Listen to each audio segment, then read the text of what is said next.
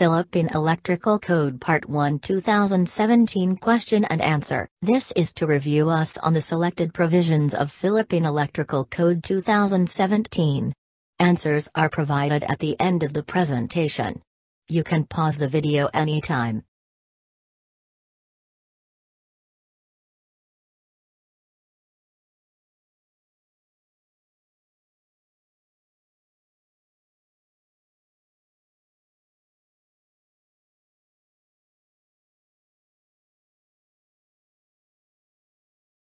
Philippine Electrical Code Part 1 2017 Question and Answer Number 7.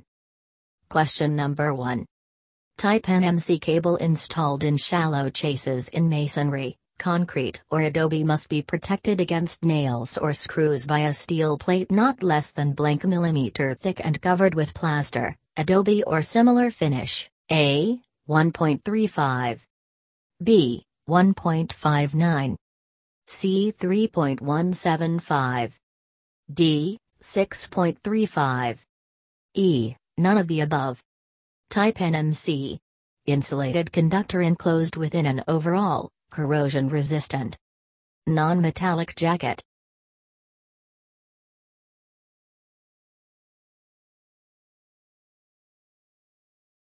Question number 2.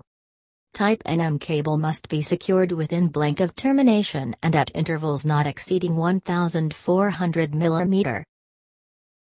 A. 300 mm. B. 380 mm. C. 450 mm. D. 560 mm. E. None of the above. Type NM cable insulated conductors enclosed within an overall non-metallic jacket. Question number 3. Boxes for luminaire in a ceiling must be designated to support a luminaire weighing a minimum of blank. A. 11 kg. B. 18 kg. C. 23 kg. D. 34 kg. E. None of the above. Question number 4. Volume allowance required per size 3.5 mm squared copper conductor for box fill calculations is A.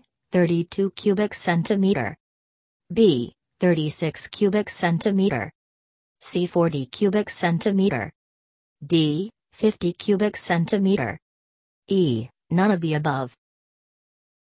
Question number 5. The ampacity of a conductor depends on the rate at which the heat dissipates into the ambient medium.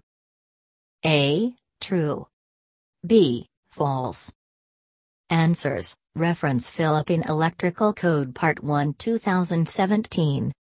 1. B. 1.59 mm, Article 334 1 B3, on page 217.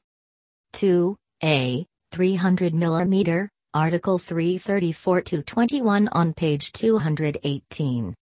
3. C 23 kg, Article 314 to 13 a 2, on page 201. 4. B 36 cubic centimeter, Table 314 to 2b on page 198. 5. A. True Article 310 6a, 3 FPN number 1. 3, on page 169. Please comment on your score. Thank you.